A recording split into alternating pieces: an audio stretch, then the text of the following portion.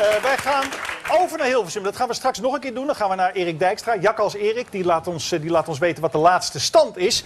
Nu een collega van mij die graag mee wilde doen. Herman van der Zand, nieuwslezer. Vandaag een beetje de centrale man als het om deze actie gaat in eh, beeld en geluid. Want dat is het eh, epicentrum, het zenuwcentrum zou je kunnen zeggen.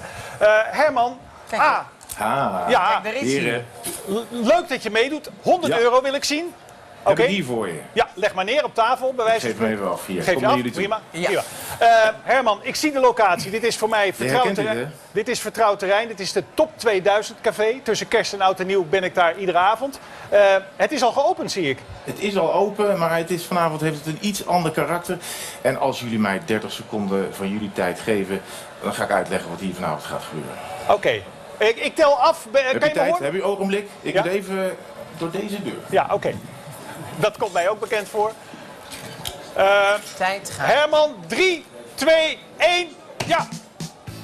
Ja, dames en heren, goedenavond. Welkom in de Giro 555 Café. Voorheen natuurlijk bekend als het Top 2000 Café. Ik ben slechts de slippendrager van de grootvorst van deze avond op Nederland 1, SBS 6, RTL 4 met grote namen. Umberto Tanden zit hier, Bridget Maasland hier, Jeroen Paul en Paul Witteman natuurlijk. Volg mij op mijn tocht door dit café dat ik natuurlijk nooit of te nimmer zou binnentreden zonder de one and only koning, keizer, admiraal, mijn vriend Don Leo Blokhuis. Leo, wat ga jij doen?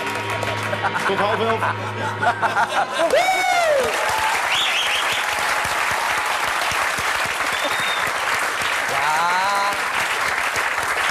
Ja. Leek, leek sprekend. Leek spe- Ik kan zo ziek worden. Ja, kan zo ziek worden. Hij, kan, hij, kan, hij, kan, hij kan er zo in.